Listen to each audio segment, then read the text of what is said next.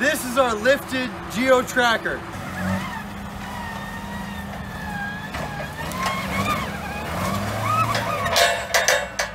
And this is the last time that you're gonna see us use it.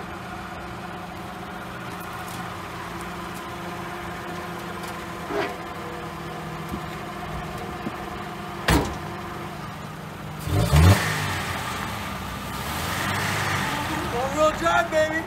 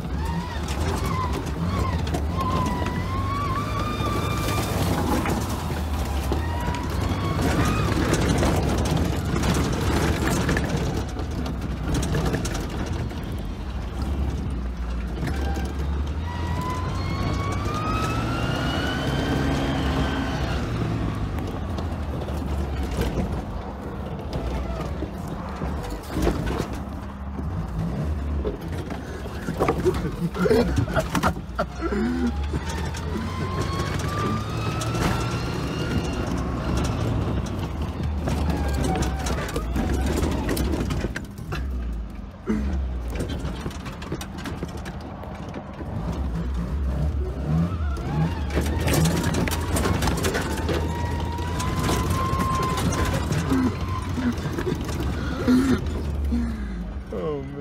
So we've had this tracker for a few years now.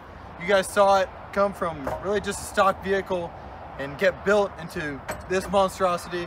Uh, if you don't remember, it's got a two inch suspension lift, a two inch body lift, and we put some 31s on it, some super swampers, made a little uh, custom bumper for it, put the high lift jack on it, a winch, a couple other little things, headlights.